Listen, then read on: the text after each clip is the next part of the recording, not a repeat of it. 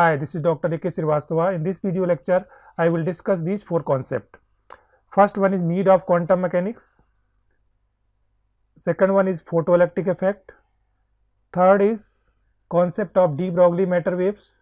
And fourth one is wavelength of matter waves in different form. Let us start with the topic need of quantum mechanics.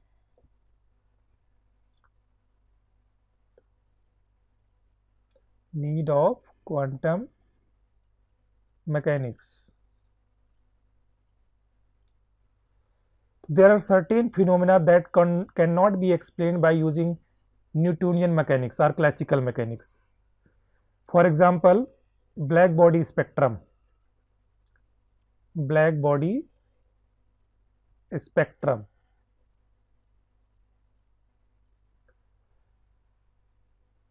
Photoelectric effect,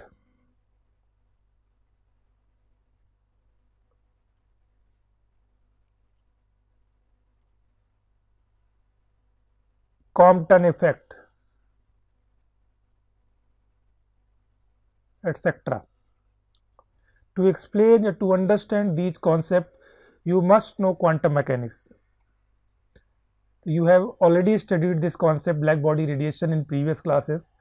So, only be explained by using quantum mechanics. Photoelectric effect already you studied in previous classes there you used quantum mechanics to understand this photo photoelectric effect. Now, Compton effect is the new concept that we will discuss uh, after uh, some time. So, let us start with the topic photoelectric effect. What is photoelectric effect?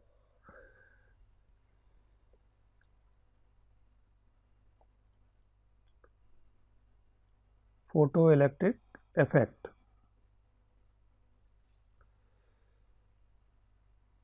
Let us suppose there is some photosensitive material and light is falling on this photosensitive material. So, you know that light is made up of small bundles and each bundle having energy h nu that is known as quanta or photon. These bundles are known as quanta or photons. When light falls on these photosensitive materials, photon is completely absorbed by these surface electrons. Some energy will be used by the electron to eject from the metal surface that is known as work function or rest it will get as a kinetic energy. This ejected electron is known as photoelectron. This ejected electron is known as photoelectron.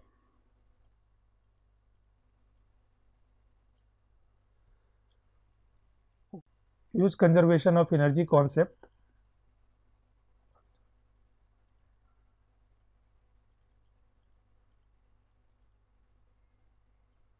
That is this h nu photon is falling on the metal surface. Some energy will be used to eject the electron. Rest it will get as a kinetic energy. Okay. This equation you can simplify. This work w is known as work function. You can replace this w by h nu naught plus Ek is equal plus Ek. What is this Ek? Ek is the kinetic energy of the photoelectron. You can write like this half mv max maximum velocity. Now, what is this nu naught? Nu naught is known as threshold frequency. This nu naught is what? Threshold frequency.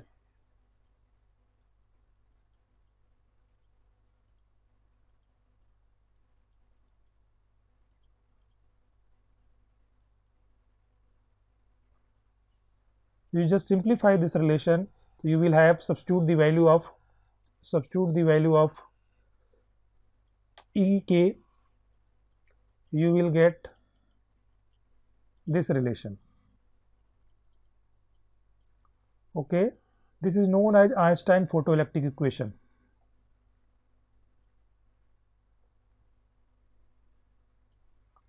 What is this w work function? How to define this term w so, W is the minimum energy required to eject an electron from metal surface. What is W? W is the minimum energy required to eject an electron from metal surface. Now, what is this nu 0? Nu 0 is the threshold frequency also known as Rayleigh frequency. It is defined as the minimum frequency required to eject an electron from metal surface. Okay. This equation is very important and Einstein got the Nobel Prize for, for the discovery of photoelectric. Let me explain effect of intensity and energy of incident photon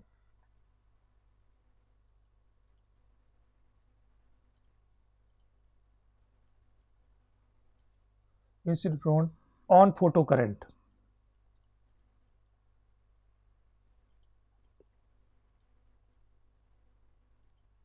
Okay, the current because of these photoelectron is known as photocurrent. So, what will be the effect of uh, intensity on this the uh, photocurrent? what we will do, let us just look here. What is the intensity first? Let us try to understand the meaning of intensity. Let us suppose this is the surface of the metal and some light is falling on this metal surface. Okay. If, if and this single photon is falling, what will happen? This photon is completely absorbed by the electron and this electron is ejected from the metal surface. Now, let us suppose the number of photons falling in the unit area I have increased. Let us suppose you are increasing the number of photons falling in a unit area. Now, let us suppose 2 photon falling in this unit area. What will happen? Now, you will have 2 electron. Now, let us suppose in the unit area now falling 3 photons. So, you will get 3 electron. Okay. Now, number of photoelectrons are increasing if you are increasing the intensity if number of photoelectrons are increasing this means that this means that photocurrent will also increase. If you are increasing the intensity of the uh, incident light photocurrent will increase. What will affect on? Photocurrent photocurrent will increase. Okay? Now just just look this another point. What is the effect of energy of the incident photon? Now i am increasing the energy of the incident photon but because of that energy only we will get photoelectron having more energy. Number of electron will not increase because of increasing energy okay? So what will happen? Photo it will not affect on photocurrent photocurrent will remain there is no effect on photocurrent no effect on photocurrent if you increase the energy of the incident photon. Okay there may be MCQ question based on this concept. What will be the effect of intensity on photocurrent? Uh, what will be the effect of energy on photocurrent? This concept is important. So let us discuss the third concept. What is third concept? That is the de Broglie concept. So de Broglie let us start the de Broglie concept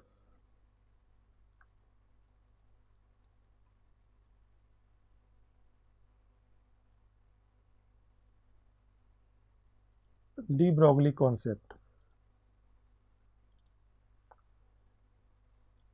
What is de Broglie concept? According to de Broglie, if a particle is moving, let's suppose mass of the particle is m and it is moving with some velocity v.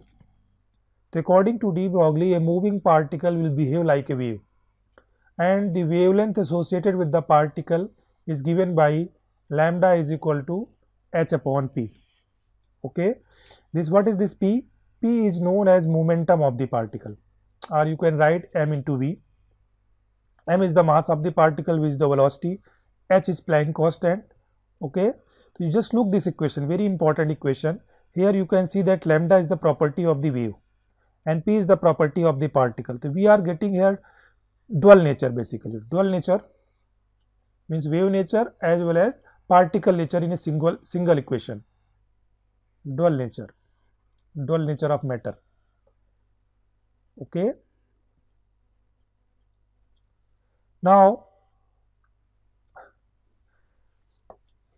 if your if your particle is non-relativistic particle then momentum you can use p is equal to mv but if your particle is moving non-relativistic means the particle velocity is uh, less than particle velocity is less than less than c very small as compared to speed of light Now suppose that your particle velocity is approximately equal to or less than c. So this is the case of relativistic case.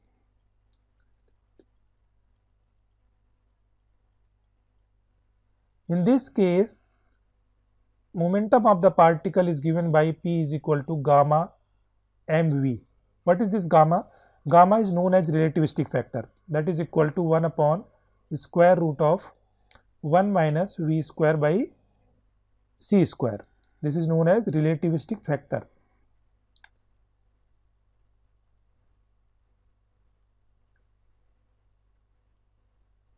Okay. So, what is the de Broglie relation for relativistic particle? De Broglie relation you can write lambda is equal to h upon gamma mv. Okay. This is for relativistic part, relativistic particle. Now, just look one of the important point in this equation. Just look this equation lambda is equal to lambda is equal to h upon p. Now, substitute the value of momentum here. This value I am taking non-relativistic particle. So, what is the value of momentum for non-relativistic particle? P is equal to m into v. Just look here, lambda is inversely proportional to mass.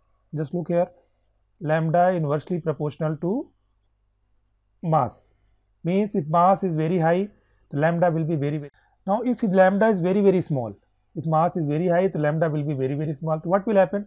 The wave nature cannot be detected. If mass of the particle is very high, the wave nature of the particle will uh, it is very difficult to detect wave nature of the particle. So, if mass is small, the lambda will be large. Lambda will be large, large, the wave nature can be detected easily. This is one of the important point. Okay. Now, I am going to write different form of this uh, wavelength, de Broglie wavelength. So, just look here. What are different form?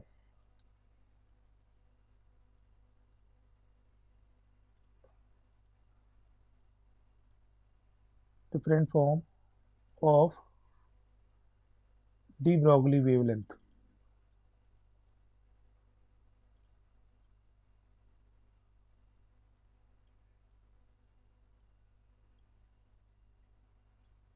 Okay. So, one relation already I told you lambda is equal to h upon p. What is this p? p is equal to m into v. Another relation is that there is a relation between kinetic energy and momentum. What is energy? Kinetic energy.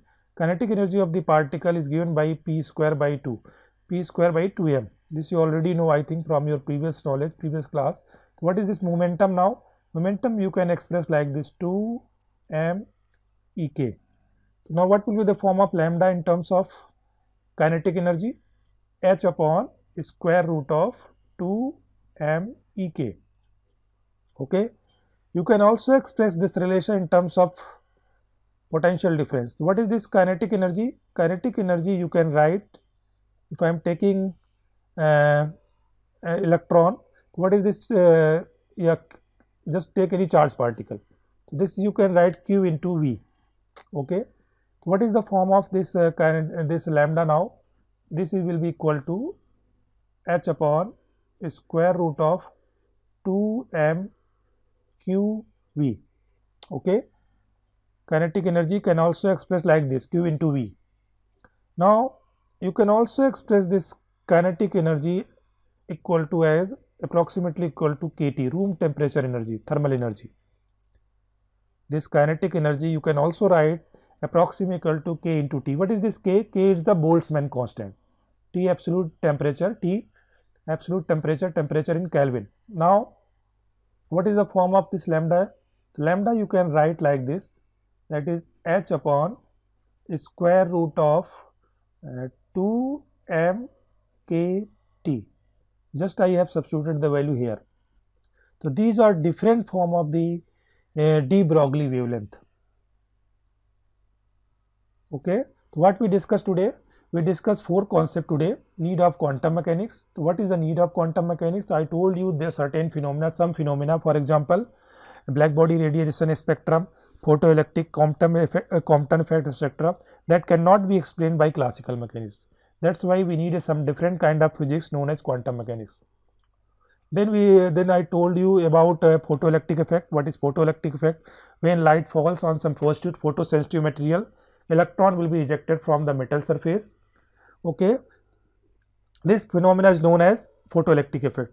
I told you the region also. When light falls on the metal surface actually light is made up of small bundle light is made up of bundles bundles energy bundles. Each bundle having energy h nu and these bundle are known as quantas or photons. So when these photons strike on the electron they will transfer all of its energy to electron. So some energy will be used by the electron to eject the, from the metal surface uh, and rest it will get as a kinetic energy. Okay? So you can use conservation of energy principle and you can write the equation Einstein that uh, that you, you can get that uh, Einstein photoelectric equation. After that we discuss de Broglie concept lambda is equal to h upon p. Then I have written different form of de Broglie wavelength. In the next video lecture I am going to discuss concept of Heisenberg uncertainty principle and phase and group velocity. Thank you for watching this video.